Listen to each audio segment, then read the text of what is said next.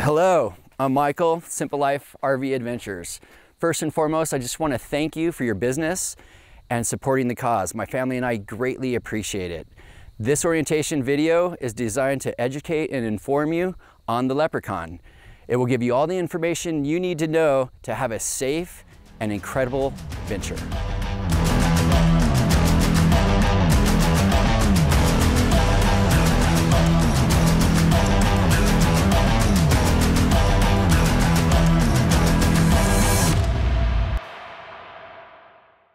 The Leprechaun has four main storage areas that you'll be using through your trip.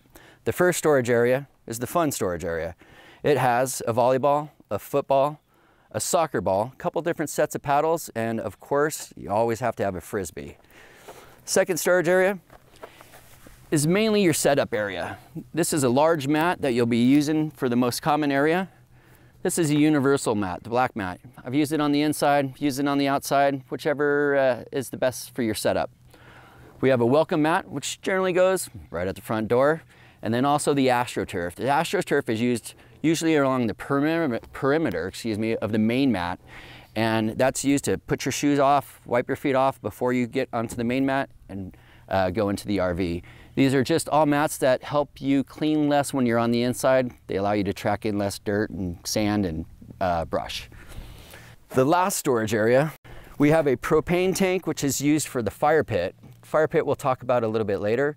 In here you also have wood, charcoal lighter fluid, briquettes. You have three durable chairs. Sometimes there's a fourth chair in there. And then on this side, you have leveling blocks and stepping blocks. Leveling blocks is for leveling the RV when you pull in. And the stepping blocks, they're used to put on the outside perimeter of the large mat.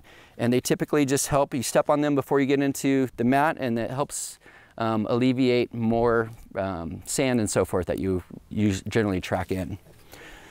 Here's the fire pit.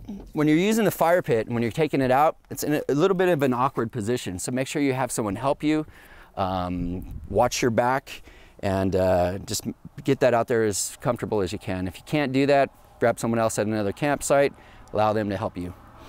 Also, we have a trash container Tall kitchen bags are on the inside, and we also have a large 4x6 table, which has been used to set up food on. It's been used for the kids to uh, do arts and crafts.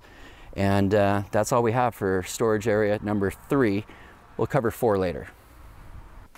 Okay, now we've moseyed to the inside of the Leprechaun. Now it's time to show you all of the fun items that we have in here for your venture. Up in the upper right, above the dining table, We've got Uno, a couple decks of cards, some Scrabble, Spot It, a camp game, and uh, there's even Sorry in there and a safe lawn dart set for you. A couple items in there as well. The next cabinets, where's the TV? There's the TV. Pull this down. It's an awkward position, so watch your back when you're doing so. Spring, there's a nice spring on there. It's got a big tug, so watch your back when you're doing that. Close these. Now you're set for the rest of the stay. Last cabinet, bunch of old school DVDs. You have one remote for the DVD, one remote for the TV. You also have a little remote in here for the stereo system for the RV itself, uh, which is Bluetooth. Set your Bluetooth up to it. I've got a Fire Stick in here for your use and also an HDMI cable. Um, I typically put my laptop right here throw the HDMI cable there and into the back, use the remote, and then you can access whatever you like to watch as long as you have good reception. Moving back to the queen size bed, you typically have two people back here. You can fit three kids up here. Just pull this over. That's up there so you don't make it easy to get in and out of the, of the cab of the car. Put that down. Buckle these up. You've got a nice little safety net for your kids. Uh, there is a ladder in the back. The ladder sits right here, goes into these rivets, and uh, allows you to get up and down fairly easy. You also have a step right here as well. On this side, this uh, couch folds out. It's pretty easy to fold out. You just take it like this, push it back above your twin bed. You have 15 inch, probably about 15 inch storage areas.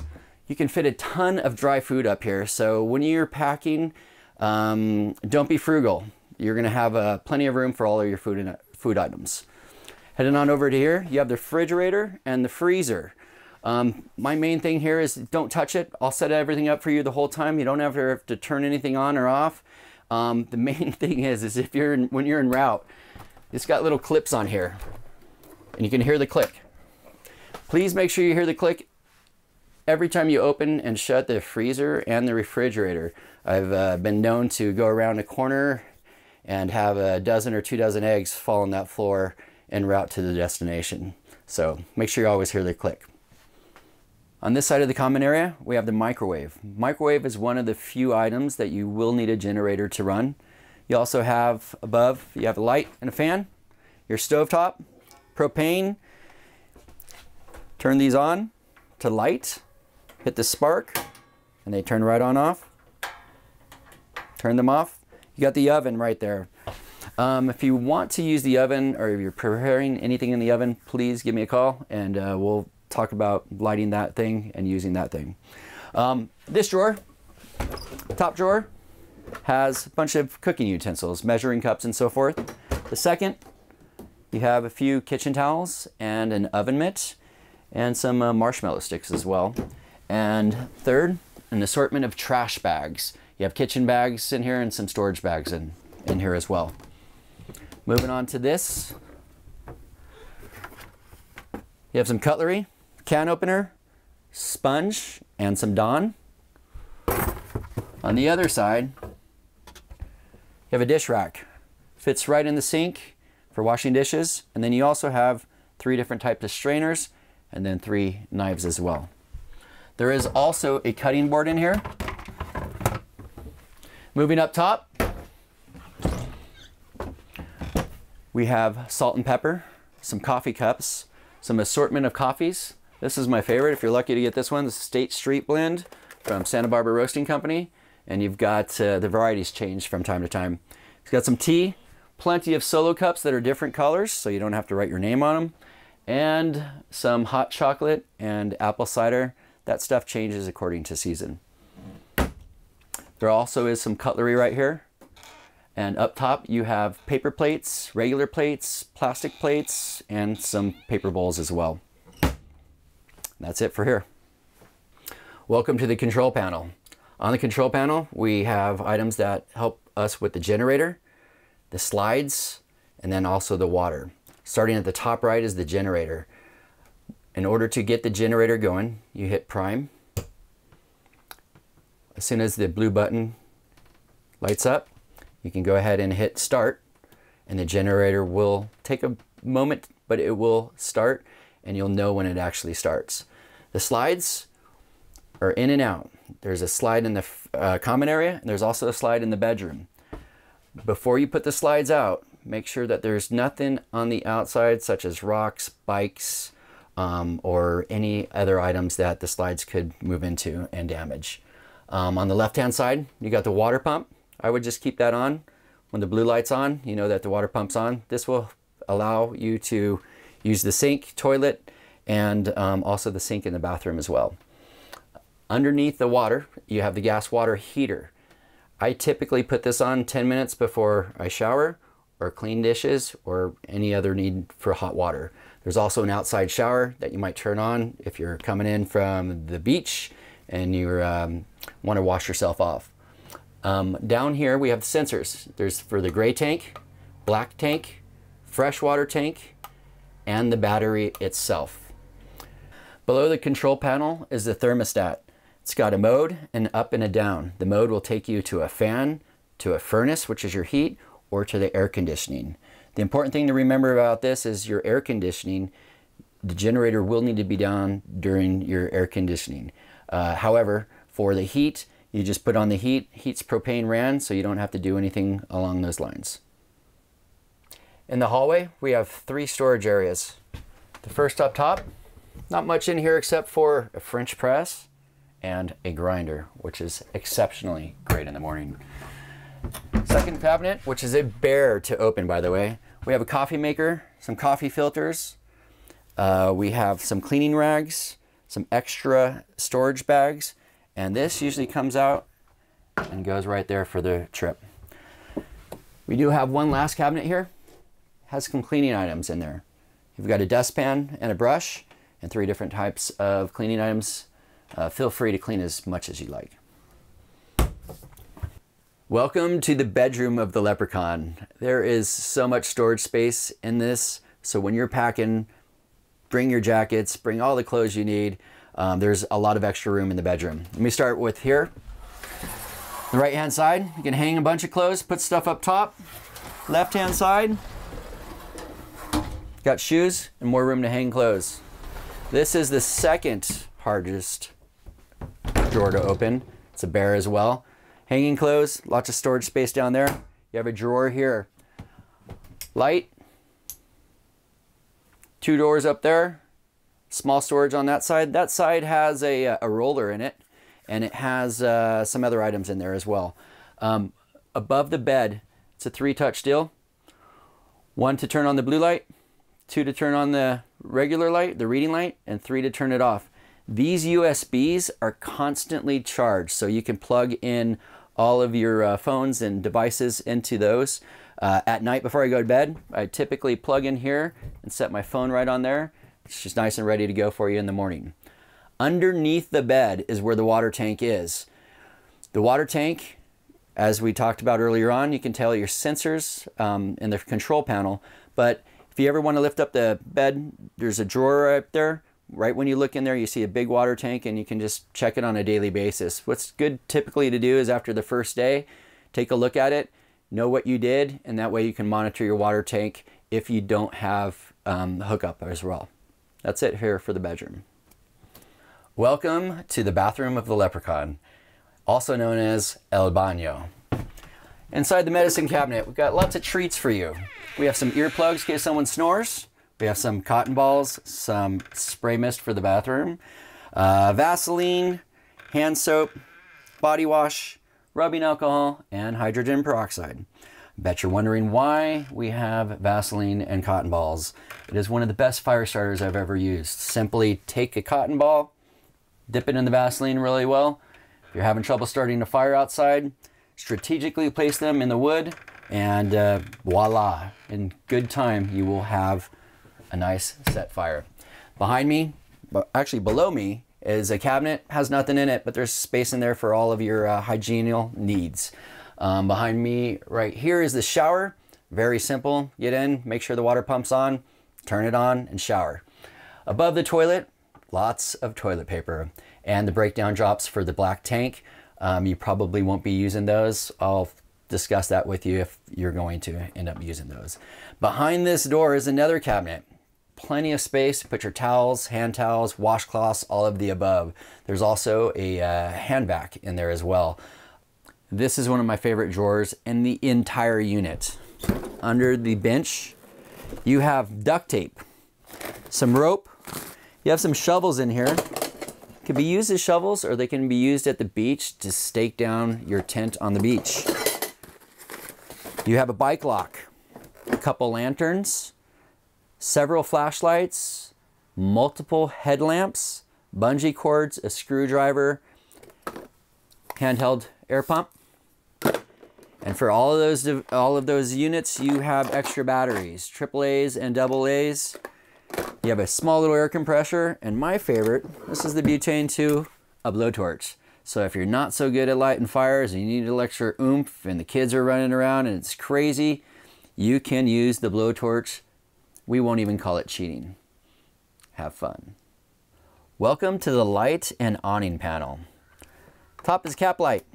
Cap light is the very front of the RV up top. It's got some LED lights up there, great for night.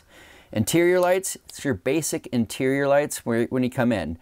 Um, on interior lights, there's quite a few different buttons around here. So if you're ever looking for light, just look for the closest button. The whole thing lights up. Patio light. That's fun in the evenings with the fire pit. You have your compartment light. Compartment light is great because there's always that 7 or 8 o'clock p.m. when it's dark and you're out in the back and you're trying to fumble through the back compartment because you got so much stuff in there. That will help you find everything very easily. Last but not least is the awning. Uh, the awning goes out very quickly and does a good job. But when you bring the awning in, you're going to think that something's wrong because it comes in at a snail's pace. So don't be odd, take some time, sit right here, just hold your finger on the button and that thing will eventually get in. Okay, if you were wondering what's behind door number four, this is another fun door. Uh, you have caution triangles. If heaven forbid, if anything happens, please be safe on the road. Put the caution triangles out there. Not so much fun as the caution triangles and as dangerous is the sewer hose. The sewer hose is connected from the sewer there in the back. I'll show you there in a second. And this nice little tool allows it to start from here and gently go to its home. Set that up with the hose, you'll love it. We also have the electric, we have an extra extension cord, we have the water hose, we have a toolkit. It's good for anything. It's got a, a, a, very good array of tools in there for you.